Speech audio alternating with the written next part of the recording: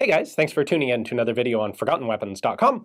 I'm Ian McCollum and I'm here today at Guns.com taking a look at some of the more unusual firearms that they've got in their warehouse. And so of course, nothing says unusual like a dual side-by-side -side pair of guns glued together into one gun like the Gilboa Snake here. Now this came out of Israel. Uh, this was first announced or first developed in 2013 there were a few years worth of delays, but a couple years ago it actually became available on the US market. This is a civilian version made, at least for legal purposes, manufactured here in the United States. And it's got some pretty substantial differences to the military pattern that its designer, one Amos Golan, uh, created back in Israel. So uh, obviously, the thing that makes this unique is it's a pair of 5.56 ARs uh, built together in one receiver housing. So it uses two magazines, it has two triggers, it has two buffer tubes, it has two barrels, it has two gas blocks, it has two bolts, it has two of everything except upper and lower receiver where you have one of each and one unitized charging handle. Today's video is generously sponsored by Guns.com. Whether you're looking to get a cool new gun to add to your own collection or looking to get rid of something that's no longer interesting to you, they have uh, the tools to help out. They have a huge inventory of both new and historical firearms in their warehouse, along with listings from brick and mortar uh, dealers around the country their inventory changes on a weekly basis. So check it out, see if there's anything cool in there. If you find something that you do want and decide, well, maybe I just want to swap out this old piece for that cool new one, they have a firearms purchasing program that makes that process pretty quick and painless and easy. So uh, that's called We Buy Guns. You can find that on their website as well.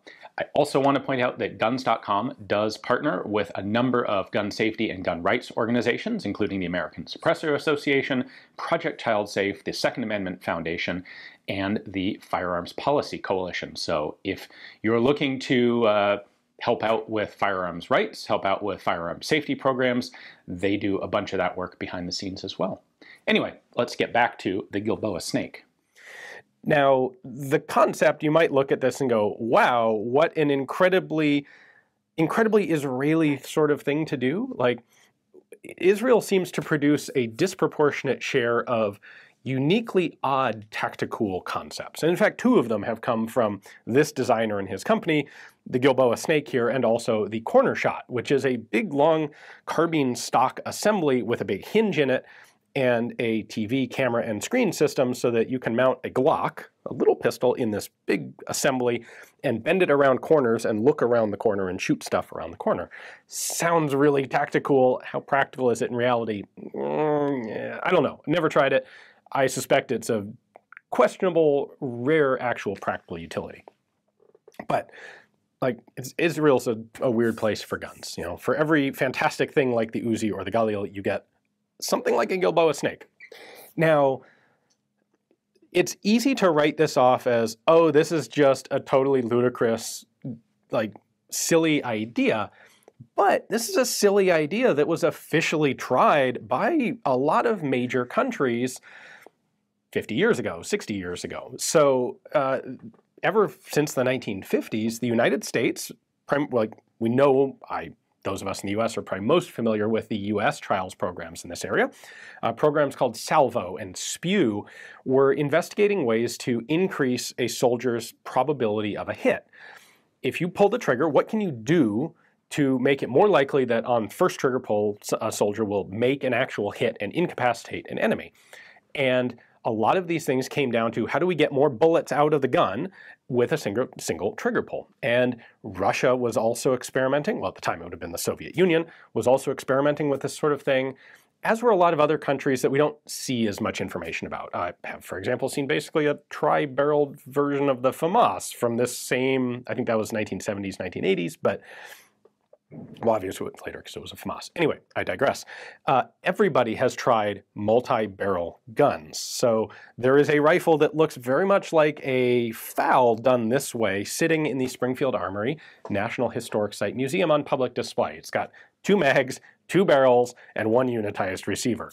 Uh, the Russians tried it not just with two barrel, but with three barrel guns. The TKB 059 is a triple magazine, triple barrel side by side rifle. And then of course there were the other alternate ways that people tested, people tried to get the same effect. So you want to get like two or three shots downrange with one pull of the trigger. One way to do it is a burst in a machine gun, but of course then you've got recoil impacting the placement of the second and third rounds. You can do multiple barrels so that one trigger pull fires two barrels at the exact same time. That's concept. You can do duplex or triplex ammunition, where one cartridge case has two or three projectiles stacked in it, two or three bullets, so that one firing ejects one case, but two or three bullets. Everybody tried that. Uh, and then, of course, hyperburst systems, where it's a burst, but it goes so fast that there's and there's a mechanism built into the gun of there were several different types tried, where multiple rounds have exited the gun before the recoil has actually impacted into the shooter and changed the point of aim. The Russian AN-94 is the classic, best-known example of that sort of system. But all of these different options were tested by all of the major powers during the Cold War. So viewed from that perspective, the Gilboa snake is not that crazy, innovative, new of an idea. It's just that no one's ever really tried putting that on the civilian market before. So um, this is getting long, but let me tell you, before we take a closer look at this, I want to explain the differences between this gun and the military gun. So the military version of the, the snake is basically the same overall concept. You've got two barrels, but Fundamentally, and very importantly, you have one trigger mechanism. So a single trigger pull will fire both barrels simultaneously. I have not put my hands on one of the military ones, but as far as I can tell from the pictures, they appear to have a gas piston operating system instead of direct gas impingement, which this does. And they have one gas piston that operates both bolts simultaneously. So you're kind of, you're reducing down the number of duplicate parts by doing that. The military version also very interestingly uh, has gotten rid of the buffer tube system, uh, or the, the spring and buffer of the AR uh, mechanism and instead redesigned the recoil spring system to be up in the top of the upper receiver, kind of like the difference between a FAL and a folding stocked FAL.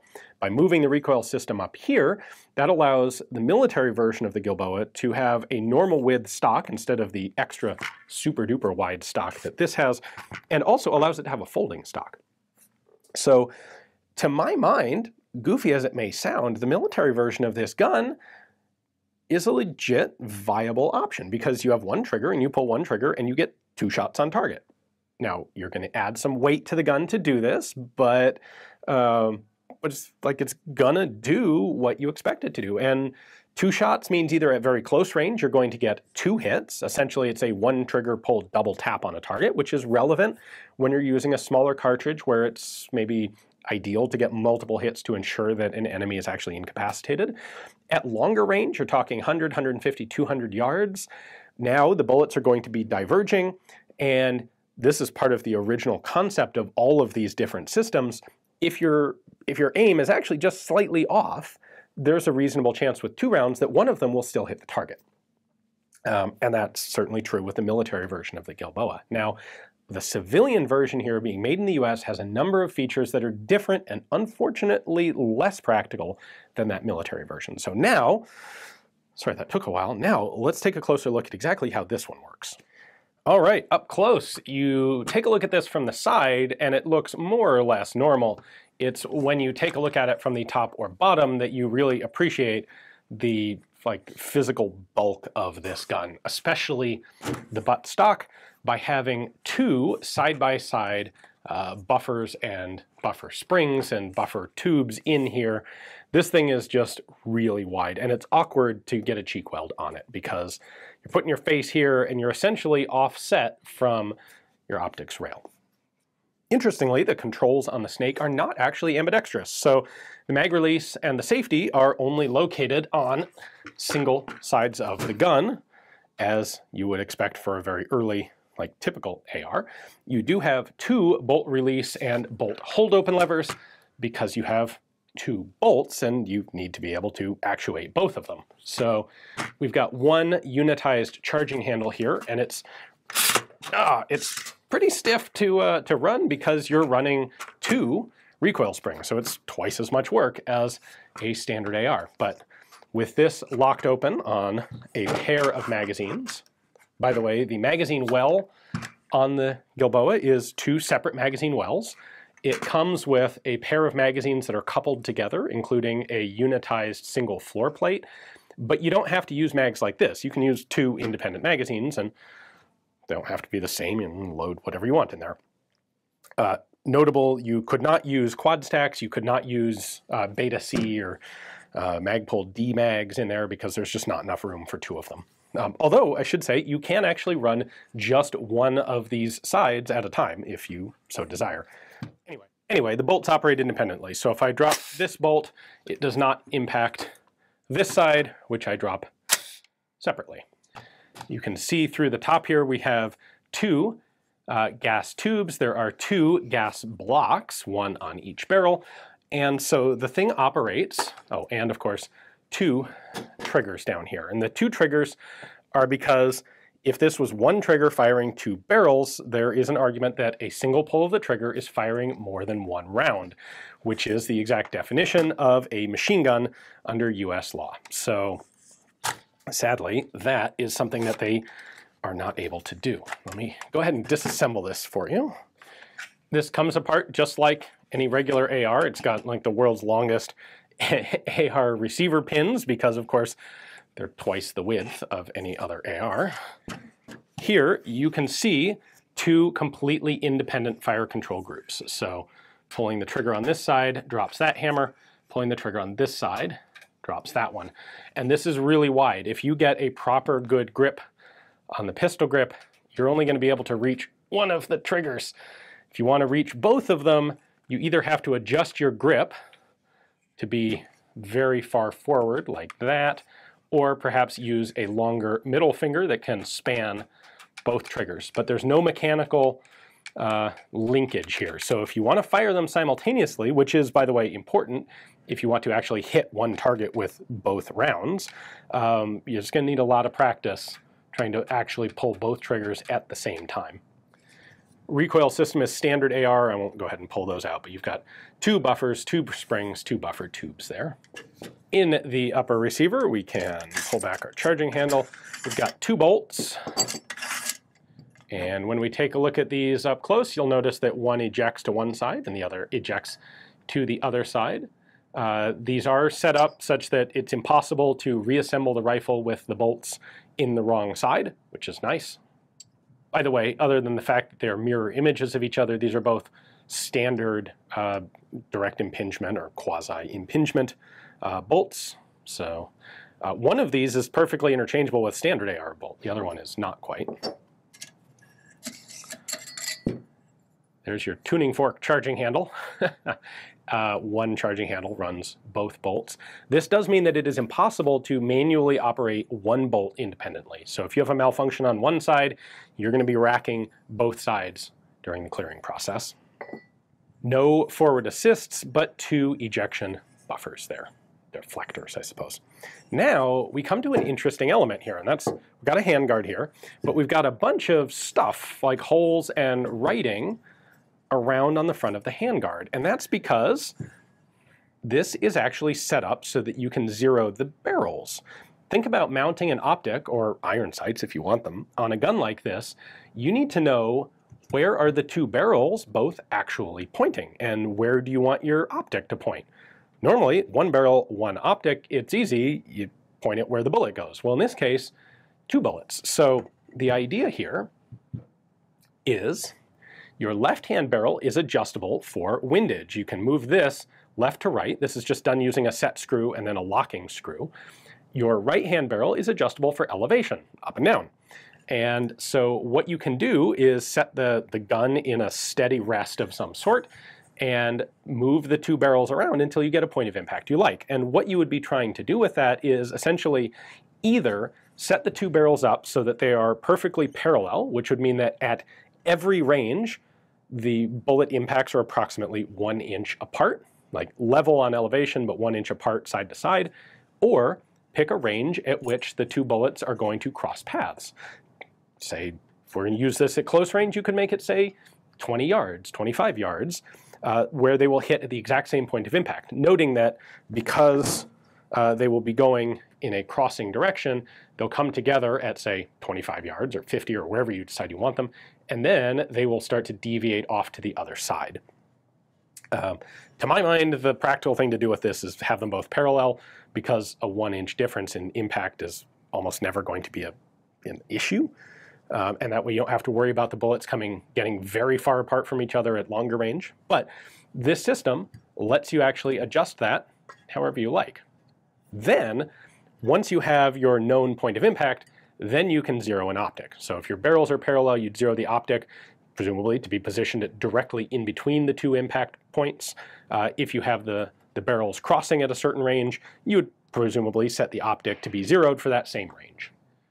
All right, we're going to continue disassembly here and take the handguard off, but that's going to get kind of clunky. So there are three screws on top that I have to take off.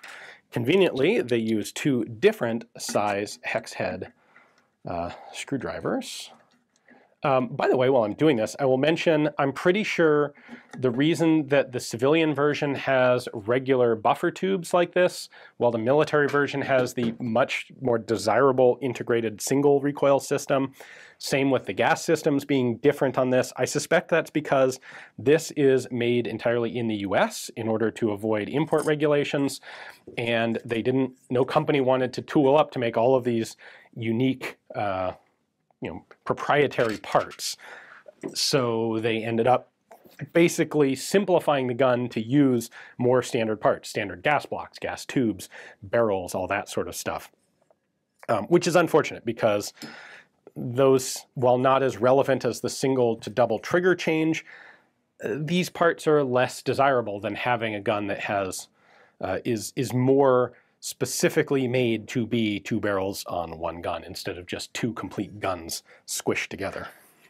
Oh, sorry, forgot this. There's also a two screw tensioning clamp at the bottom of the handguard. I don't need to actually remove that, just loosen it up so it's not putting any tension on. Now we can take the handguard off. All right, this is on pretty tight. Uh, a little tapping with a hammer got it off. And now we can separate the receiver from the handguard from this front zeroing plate here, which is actually its own full assembly. There are five more screws in this that would allow me to disassemble it, plus these guys, like I'm, I am not getting into all of that nonsense. And none of this can actually completely come off the gun unless you take off the muzzle devices because this is too big to fit over the muzzle devices. So out here on the front, you can see that one barrel is set up to move left to right. The other barrel has the ability to move up and down, and it's just set screws. They're going to oops, push the barrels within those oval allowable zones. I can't really show you the gas blocks because I can't take the handguard off because of that front plate, but you can see that they're in there. They're just standard gas blocks with standard gas tubes going into the receiver. And there you have it, one disassembled Gilboa snake, which is sort of two of any other gun. I have to admit, it really made me sad to get my hands on this and see just how much of a disservice the two trigger system does here. It would be really much more interesting to, I think, to have one with a single trigger. And it's really a huge shame that that technically turns the thing into a machine gun, or at least that the company believes that it does enough that they're not willing to manufacture a semi-auto civilian version with a single trigger setup. Um, could this still be fun? Absolutely. This could still be all sorts of fun as a recreational gun, but I think unfortunately that trigger system, more than anything, really hurts it in terms of a practical military or other security service sort of applications kind of like ah, so close. Could have been this could have been the AN94 we had at home, and well, that was really the AN94 we have at home. Uh, not not really quite so good. Maybe with enough practice, use of the middle finger, that sort of thing, uh, you could synchronize yourself well enough to be actually pulling the triggers essentially at the same time. But uh, hopefully you guys enjoyed the video. Uh, I thought, I mean, obviously this is definitely something weird enough that I definitely need to take a look at and share with you guys. So, thanks for watching.